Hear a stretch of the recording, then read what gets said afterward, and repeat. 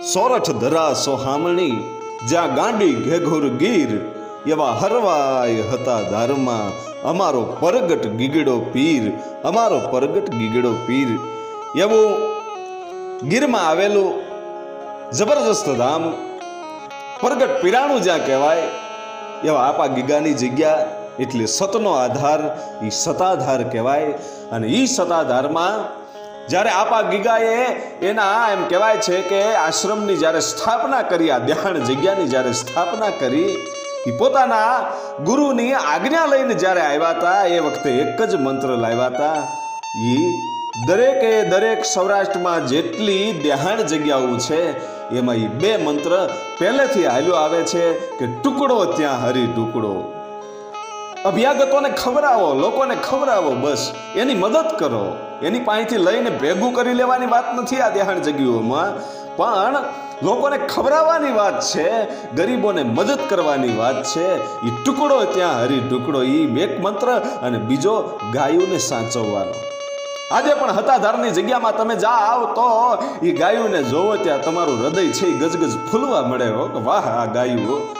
એ આપા ગીગાની ગાયું અને એ સતાધારમાં જ્યારે દેહાણ જગ્યાની આંબાજર નદીના કાંઠે જ્યારે સતાધારમાં આપા ગીગાએ એ જગ્યાની સ્થાપના કરી એ કઈ રીતે થઈ કે જ્યારે આપા દાના એણે આપા ગીગાને રજા આપી અને એટલું કીધું કે હવે જાઓ, તમારી જગ્યા નોખી બનાવો અને અહીંથી ચાલતા થાવ, તમારે ભ્રમણ કરવાનું છે અને ભ્રમણ કર્યા પછી જે જગ્યાએથી તમને લોબાનની સુગંધ આવે એ જગ્યાએ રોકાઈ જાજો અને કાયમી સ્થાન કરજો. અને આપા ગીગા ચાલતા ચાલતા એમ કહેવાય છે કે છ, સાત વર્ષ સુધી ફર્યા પછી આ આંબાજર નદીના કાંઠે જ્યારે આવે છે, એ વખતે ત્યાં લોબાનની સુગંધ આવી અને પોતાના ગુરુનું વચન યાદ આવ્યું. અને પછી ત્યાં ને ત્યાં બિરાજમાન થઈ અને પછી ત્યાં પોતાની દેહાણ જગ્યાની સ્થાપના કરી અને ટુકડો ત્યાં હરી ટુકડો. એ શરૂઆત કરી. આજે પણ એ સતાધારની અંદર અનક ક્ષેત્ર ચાલુ છે. તમે અડધી રાતે જાઓ તો અડધી રાતે તમને ખાધા વગર જવા ન દે. એ આ જગ્યા છે અને એ જગ્યામાં આપા ગીગા પછી અનેક સંતો થયા, અનેક મહાપુરુષો થયા.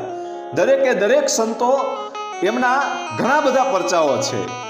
દરેકે સંતો, જેટલા સંતો આવ્યા એ બધા સંતો મહાન સંતો હતા. પણ એમાંથી એક સંત છે એ કંઈક અલગ તરી આવે છે. એ કોણ?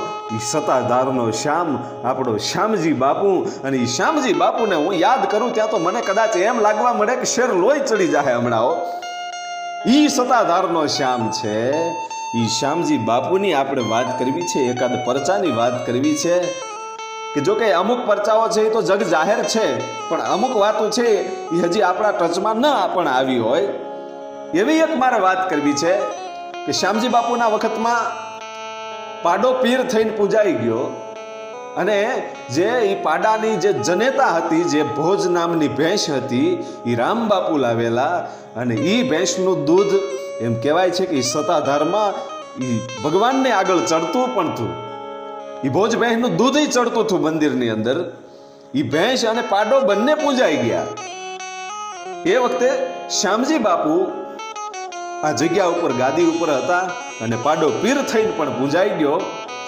પણ પછી જે પરચો બન્યો છે, એની મારે તમને વાત કરવી છે કે આજે દુનિયાની અંદર ડંકો વાગે છે સત્તાધારનો. શું કામ?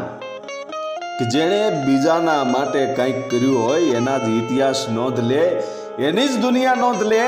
બાકી કોકના ખિસ્સા કાતરા હોય, એની દુનિયા કોઈ દી ના નોંધ લેતી નથી. એના ઇતિહાસમાં કોઈ દી નામ ન હોય, પણ આ તો બીજાના માટે ખપી જવું હોય. એના જ ઇતિહાસ બને છે. અને એવો જ એક શ્યામજી બાપુનો આ નાનકડા એવા પરચાની આપણે વાત કરવી છે કે ઇન્દિરાબેન ગાંધીનું એ વખતે રાજ હતું. પોતે વડાપ્રધાન હતા અને ઇન્દિરાબેન ગાંધીની સામે જે પરચો બન્યો છે, એની મારે તમને વાત કરવી છે. પરચો અને ચમત્કાર આજની દુનિયામાં એમ કહેવાય છે કે લોકોને ખોટું લાગે છે બધું, કે આવું કાંઈ હોતું નથી. પણ નહીં, તમે સતાધારમાં એ મંદિરની ફરતી એક પ્રદક્ષિણા કરી લ્યો એ પરિક્રમા કરી લ્યો અને પછી દિલ ઉપર હાથ રાખી અને પ્રસાદી લેવા માટે બેહી જાઓ ને હાંજના ટાણે એ ખીચડી ખીચડી અને કઢી તમે ખાઈ લ્યો ત્યારે તમને ખબર પડે કે પરચા કોને કહેવાય? અને તમારી ઘરે ખીચડી કઢી બનાવીને ખાજો અને હતાધારમાં ખાજો. તમને ખબર પડશે કે પ્રસાદ કોને કહેવાય અને ભોજન કોને કહેવાય. ઘણો બધો ફેર પડતો હોય છે. એટલા માટે મારે વાત કરવી છે કે લોકોને એવું થતું હોય કે ચમત્કાર બમત્કાર કાંઈ હોય નહીં પરચાઓ કાંઈ હોય નહીં, પણ ઇન્દિરાબેન ગાંધીએ જોયેલા પરચાઓની વાત છે. બાકી વડાપ્રધાન હતા. છતાં એણે પોતાના ખોળો પાથરવો પડ્યો તો એટલે મારે આ વાત કરવી છે કે સાધુની અંદર તાકાત કેટલી હોય, એની અંદર ભક્તિ કેટલી હોય અને એની અંદર વિશ્વાસ કેટલો હોય. વિશ્વાસ હોય તો હરી મળે મળે અને મળે. બાકી ઈશ્વર છે એ ક્યારેય બુદ્ધિથી પકડાતો નથી ભાઈ. એટલે મારે વાત કરવી છે સતાધારના શ્યામજી બાપુ. અને શ્યામજી બાપુ છે ભક્તિમય જીવન જીવતા હતા. પણ એનો એક શબ્દ છે ને એ મને કાયમને માટે યાદ આવે છે ને એ વારા ઘડીએ એ લોકોને બહુ કીધા કરતા. એક શબ્દ બહુ કહેતા કે માયાનો અને કાયાનો કોઈ દી ભરોસો ન કરવો. અને બહુ સાચી વાત છે મિત્રો કે માયા એટલે રૂપિયા. રૂપિયાનો કોઈ દી ભરોસો ન કરાય. રૂપિયો તો આજ હોય ને કાલે વયો જાય, એની કરતા રૂપિયો આવે એટલે એનું દાન કરી દેવું અથવા તો સારી જગ્યા ઉપર વાપરવા. અને આ દેહ છે ને, માયા એ રૂપિયા છે અને કાયા એ આપણું શરીર છે. આ શરીરનો કાંઈ ભરોસો હોય નહીં. આજ અહીંયા હોય તો કાલ કદાચ ન પણ હોય. એમ કાયાનો પણ ભરોસો ન હોય, આજ જીવતા હોય તો કાલ હું થવાનું છે મને તમને ખબર નથી. પણ લોકો છે એ હુંકારમાં અને હુંકારમાં જીવે છે કે જાણે પોતે અમરપટ્ટો લઈને આવ્યો હોય એમ. કે કાલે હું આમ કરી નાખીશ, પ્રમ દિવસે આમ કરી નાખીશ, હું એટલા રૂપિયા કમાઈ જઈશ, એટલું ભેગું કરી લઈશ. નહીં, કાલ શું થવાનું છે? એ મનન તમને ખબર નથી. એટલા માટે સત્તાધારના શ્યામજી બાપુ કાયમને માટે એ શબ્દ કહેતા લોકોને કે માયો માયાનો અને કાયાનો કોઈ દી ભરોસો ન કરવો.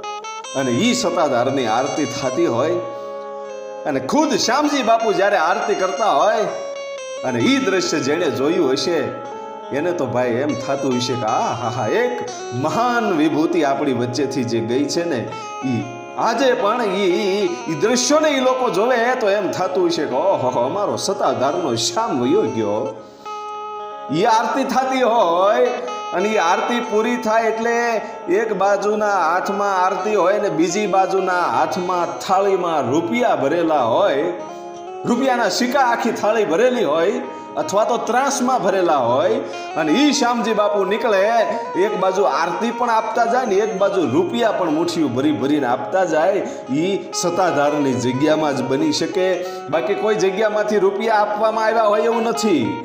બાકી તો આરતી જ્યારે સંતો દેવા નીકળે ત્યારે એની સાથે થાળી હોય, એમાં લોકો છે પોતાના ખીચામાંથી રૂપિયા લઈ અને થાળીમાં નાખતા હોય છે. પણ આ સત્તાધારનો શ્યામજી બાપુ ઈ પોતે એ થાળીમાં રૂપિયા નાખી અને જે લોકોને જરૂર હોય ને એના જ હાથમાં એ રૂપિયા જાતા હતા કોઈને બે રૂપિયા આવે, કોઈને પાંચ રૂપિયા આવે, કોઈને દસ રૂપિયા આવે. જેની જેવી જરૂર હોય એટલા રૂપિયા આવી જતા હતા અને એ સત્તાધારનો શ્યામજી બાપુ કરી શકે. અને મારે મેન પરચાની વાત કરવી છે, પણ અમુક લોકો એવા પણ હતા કે જેને ઓછા પૈસા આવ્યા હોય બીજા દિવસે બાપુને ગાળું પણ આપતા હતા મોઢે ન કહી શકે, પણ બહાર નીકળીને પછી એમ કે, અમને આ બાવાએ ઓછા પૈસા આપ્યા ને ઓલાને એટલા બધા આપ્યા. અને કોઈએ શામજી બાપુને ફરિયાદ કરીને એટલું કીધું કે, બાપુ, તમે આ રૂપિયા આપવાનું બંધ કરી દો હે કે તમે જે દાન આપો છો ને એ બંધ કરી દો કે કા? કે લોકો તમને ગાળું દે છે, જેને અમુકને ઓછા પૈસા આવ્યા હોય ને એ તમને ગાળ્યું આપે છે. કે ગાળ્યું આપે છે? કે હા. કે જેની પાસે જે હોય એ આપે. જોજો, શ્યામજી બાપુના શબ્દોને સમજવા જેવા છે હો મિત્રો. કે જેની પાસે જે હોય એ આપે, મારી પાસે રૂપિયા છે તો હું એને રૂપિયા આપું છું અને એની પાસે ગાળું છે એ મને ગાળું આપે છે. જે આપે એ લઈ લેવાનું હોય એ પછી બીજાને કોઈને દેવાનું ન હોય. એ ગાળું ખાઈ લે. એટલો નમ્રતાવાળો સાધુ અને એ સાધુ શ્યામજી બાપુ છે, એની સાથે જે ઘટના બની છે, એની મારે તમને વાત કરવી છે, એના પરચાની વાત કરવી છે. એ શ્યામજી બાપુ, એક દિવસના સમયે અલ્હાબાદનો કુંભ મેળો છે અને કુંભ મેળામાં જાય છે ભાઈ બાપુ. કુંભ મેળામાં જાય છે અને ત્યાં તો હજારો સંતો છે એ કુંભના મેળામાં ભેગા થયેલા ભાઈ, લાખો સંતો આવે એ તો કુંભનો મેળો તો જેને જોયો હોય, એને ખબર હોય કે કેટલા સાધુડા હોય, કેટલા મહાપુરુષો ત્યાં આવેલા હોય. એમાં ચાર ચંક્રાચાર્યો હતા અને ચાર ચંક્રાચાર્યોની વચ્ચે બેઠેલો, એમ કહેવાય છે કે સત્તાધારનો શ્યામજી બાપુ એમ વાત કરે છે, સાંભળજો. ચારે ચાર સંતોને એટલું કીધું કે, હે ભગવાન, હે શંકરાચાર્ય આ સાધુડાને જમાડવા માટે એક દિવસની રસોઈ અમારો ગીરનો રાજા ગીગડો પીર આપે છે, હો. એક આ સાધુડાને એક દિવસ જમાડવા માટે, એક ટક જમાડવા માટે અમારો ગાંડી ગીરનો હાવજ ગીગડો પીર છે, ઈ રસોઈ આપે છે. હું એક દિવસની રસોઈ સાધુને આપું છું. ત્યાં તો ભાઈ લાખો સંતો હોય. અને એની રસોઈ પૂરી પાડવી એટલે જેવી તેવી વાત નથી ભાઈ એ કાંઈ નાની માના ખેલ નથી કે કુંભના મેળામાં બધાય સંતોને એકટક જમાડવું એ કાંઈ જેવી તેવી વાત નથી. અને શંકરાચાર્યોએ કીધું કે, બાપુ, તમે જમાડી શકશો ને? કે જમાડવા વાળો હું કોણ? ગાંડી ગીરનો રાજા ગીગડો પીર બેઠો છે. વિશ્વાસ રાખો, મને એની ઉપર વિશ્વાસ છે કે આ છે ને સાધુની જે જમાત છે કુંભના મેળામાં, જે લાખો સંતો છે ને, એને મારો ગીગડો પીર જમાડી દે એ મને વિશ્વાસ છે અને નક્કી થયું કે કુંભના મેળામાં શ્યામજી બાપુ છે એ દરેક સંતોને જમાડવાના છે. અને એ લાખો સંતોની મેદનીમાં એમ કહેવાય છે કે વાત ફરતી ફરતી ફરતી. આખા સૌરાષ્ટ્રમાં, ગુજરાતમાં નહીં, પણ ઠેઠ દિલ્હીના દરબારમાં બેઠેલા વડાપ્રધાન ઇન્દિરાબેન ગાંધીના કાને જેદી વાત ગઈ કે અલ્હાબાદના કુંભ મેળામાં સત્તાધારના શ્યામજી બાપુ આ લાખો સંતોને જમાડવાના છે એક દિવસ. એટલી વાત સાંભળી અને એ કુંભના મેળામાં ભાઈ ઇન્દિરાબેન આવ્યા છે ઇન્દિરાબેન આવી અને જે સંતો બેઠા છે એની વચ્ચે આવીને બંને હાથ જોડીને એમ કીધું કે આમાંથી મને બતાવો, સત્તાધારનો શ્યામ કોણ છે? શ્યામજી બાપુ કોણ છે? જોજો, ઇન્દિરાબેન ગાંધી એમ કે છે કે શ્યામજી બાપુ કોણ છે? અને એ વખતે શ્યામજી બાપુ પોતે ઊભા થઈ બંને હાથ જોડીને એટલું કીધું કે, બેન, મને બધાય લોકો શ્યામજી કહે છે. આ ખોળિયાને શ્યામજી કહે છે, જોજો, હુંકાર નથી કર્યો કે હું શ્યામજી છું એમ નથી કીધું. એમ કીધું કે આ ખોળિયાને બધાય શ્યામજી કહે છે કે, બેન, બોલો શું કામ છે? અને એ વખતે ઇન્દિરાબેન ગાંધીએ એટલું કીધું કે, શ્યામજી બાપુ, મેં વાત સાંભળી છે કે તમે આ જોગીડાઓને જમાડવાના છો એક દિવસ માટે? કે, હા, બેન, સાચી વાત છે. કે, સાચી વાત છે કે, હા કે મારી ભારત સરકાર છે ને, એને આ આખી જમાતને પાવા માટે પાણી હું પૂરું નથી પાડી શકતી. તો તમે જમાડવાનું પૂરું કરી શકશો? કે હા એ તો મારો ગીગડો પીર પૂરું પાડશે. અને એ વખતે એમ કહેવાય છે કે ઇન્દિરાબેન ગાંધીએ પોતાનો ખોળો પાથરી અને પગે લાગીને એટલું કીધું તું કે જે આ ભારત સરકાર ન કરી શકે ને એ સત્તાધારનો શામ કરીને બતાવી દે. બાકી અમારી ત્રેવડ નથી કે આને પાણી પૂરું પાડી શકીએ. એની બદલે તમે તો જમવાનું પૂરું કરવાની વાત કરો છો બાપુ. આ તો સત્તાધારનો શામ જ કરી શકે. એ ઇન્દિરાબેન ગાંધી એમ કહેતા હતા. અને એ વખતે શ્યામજી બાપુએ ઊભા થઈ અને એટલું કીધું કે જો ઇન્દિરાબેન એમ કહે છે તો હવે હું સત્તાધારનો શ્યામ આ સાધુડાઓને વચન આપું છું કે એક દિવસનું નહીં, બે દિવસનું નહીં, પણ ત્રણ ત્રણ દિવસનું જમવાનું હું આ સાધુડાને પૂરું પાડીશ, મારો ગીગડો પીર પૂરું પાડશે અને ચાર ચાર દિવસ સુધી કુંભના મેળામાં સાધુ જમાતા એ સત્તાધારના શ્યામજી બાપુનો પ્રતાપ હતો અને શ્યામજી બાપુએ ચાર ચાર દિવસ સુધી કુંભના મેળામાં દરેક લોકોને, દરેક સંતોને જમાડ્યા હતા. એ આ આપા ગીગાના એમ કહેવાય છે કે ભજનની કાંઈક તાકાત હતી. આપા આ જે શ્યામજી બાપુ છે, એની ભક્તિની કાંઈક તાકાત તાકાત હતી. અને એ ચાર ચાર દિવસ સુધી જમાડ્યા પછી શંકરાચાર્યો છે એ વિચારમાં પડી ગયા કે શ્યામજી બાપુને કયું બિરુદ આપવું? કે ચાર ચાર દિવસ સુધી કુંભના મેળામાં લોકો જમી તો ગયા. પણ શ્યામજી બાપુના ખિસ્સામાં એક રૂપિયો નહોતો એને ખબર હતી કે મારો ગીગડો પીર બેઠો છે, એ પૂરું કરી શકશે. અને આપા ગીગાએ એ ચાર ચાર દિવસ સુધી જમણવાર પૂરા કર્યા એટલું નહીં. પછી સંતોએ ભેગા થઈને કીધું કે આ શ્યામજી બાપુને સારું બિરુદ તો મળવું જ જોઈએ. એ વખતે પછી એને ભક્તભૂષણ નામનું એ બિરુદ આપવામાં આવ્યું, જે મહામંડલેશ્વરો હોય છે, પીઠાધીશ્વરો હોય છે, મઠાધીશ્વરો હોય છે, એવી રીતે ભક્તભૂષણ નામ આપી અને એ શ્યામજી બાપુને બિરદાવ્યા હતા અને એ સતાધારનો સંત અને એ સતાધારની આજની એ જગ્યાઓ અને એની જે પરંપરા છે એ હાલી આવે છે. ક્યારેક જઈને દર્શન કરજો એ ગાયુંને જોજો. એટલું નહીં પણ એ જગ્યામાં એ મંદિરની પરિક્રમા કરી, આજે આરતીના દર્શન કરી અને ખીચડી કઢી કાઢ્યો ને, તોય ત્યાં જીવનના એમ કહેવાય છે કે ભવ ભવના પાપ હશે એ ધોવાઈ જાહે હો. ઈ આ તાકાત આ સંતોમાં છે, જે ઈશ્વર પણ ન કરી શકે એવા કામ આ સાધુડાઓ કરી દે છે.